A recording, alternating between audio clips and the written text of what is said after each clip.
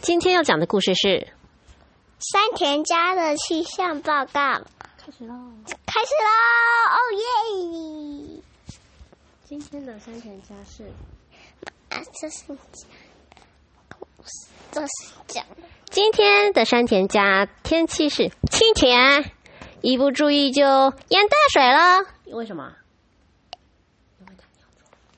因为他尿床，一大早就刮台风喽。为什么？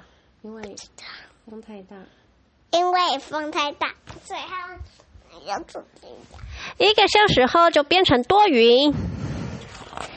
戈壁的太太吹起龙卷风。中午吃春雨洗面，下午有一点阵雨。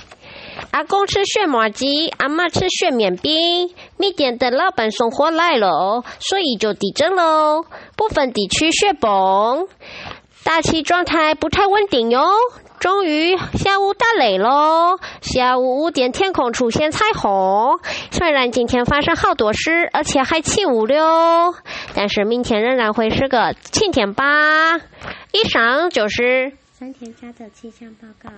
山田家的巨蟹报告报告完毕，报告完毕，谢谢大家。谢谢大家。